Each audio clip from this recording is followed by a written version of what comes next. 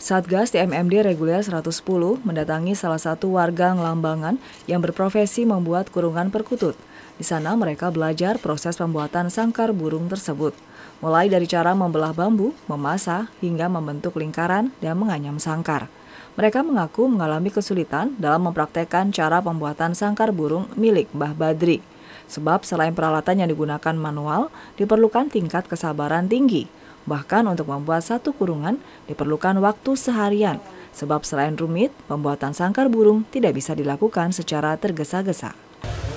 Kebetulan tadi Pak uh, warga di sini, Pak Pak Kasun uh, Ngelambangan sini bercerita pada saya kalau di sini ada uh, home industri kurungan sangkar burung perkutut, di tempatnya Mbah Badri. Mbah Badri. Uh, tadi gimana Pak kesan pesan pertama jenengan belajar buat kurung?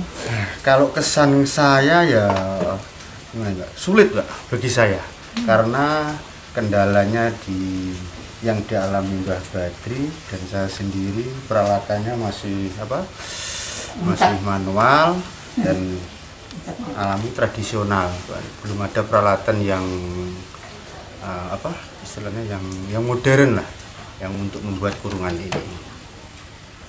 Tidak, makasih. Menurut Satgas, membuat kurungan perkutut merupakan satu kesulitan tersendiri bagi mereka.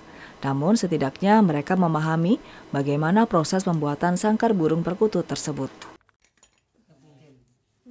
Dari Bojonegoro, Tim Liputan TVku melaporkan.